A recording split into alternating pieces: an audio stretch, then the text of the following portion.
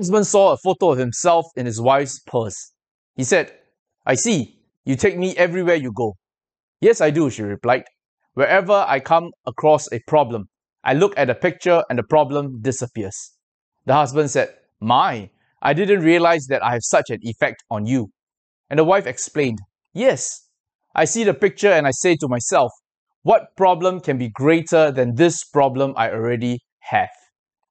Friends, we often hear such jokes about marriage. They are funny because they bear a kernel of truth. That is, marriage is challenging because it involves two sinners trying to do life together. Not only is marriage challenging, its very foundations are being challenged today. People with opposite sex attraction would say, Why do we need to get married? I don't need a piece of paper to show my love. Why should I be subjected to moral standards of antiquated religions? On the other hand, people who are same sex attracted would say, Why can't we get married? That is our rights. Why should we be subjected to religious moral standards? Friends, God is not a religion. He is the creator. God's standards are not just meant for religious people, but for His creation to have optimal conditions to flourish.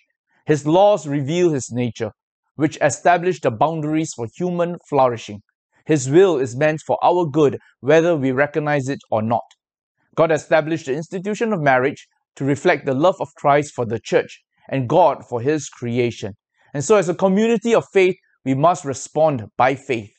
Ephesians 5:31 For this reason a man shall leave his mother and father and shall be joined to his wife and the two shall become one flesh.